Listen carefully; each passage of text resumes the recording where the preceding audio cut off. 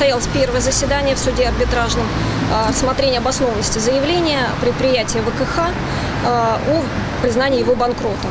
Заседание а, было отложено, к сожалению, по процессуальным причинам в связи с непривлечением управления Федеральной антимонопольной службы, поскольку данное предприятие является субъектом естественной монополии.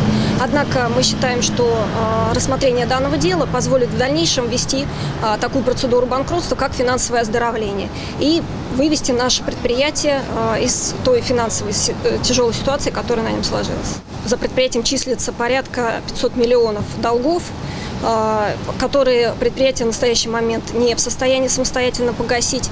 Поэтому при а, таком формальном наличии признаков неплатежеспособности предприятие должно было обратиться в арбитражный суд с данным заявлением. Процедура финансового оздоровления она предусматривает а, применение графика рассрочки платежей. То есть данные платежи они будут погашаться в соответствии с утвержденным графиком. На отопительный сезон банкротство ни в коем случае не повлияет. Состоялся запуск уже отопительного сезона. Дальнейшая работа это никоим образом не повлияет на дальнейшую работу предприятия. Более того, я могу сказать, что это произойдет в результате этого финансового оздоровления. Ну и как э, один из аргументов, опять-таки, в поддержку там, оздоровления и э, успешной деятельности предприятия, в смысле, в момент процедуры банкротства предприятия впервые получило паспорт готовности от э, Ростехнадзора.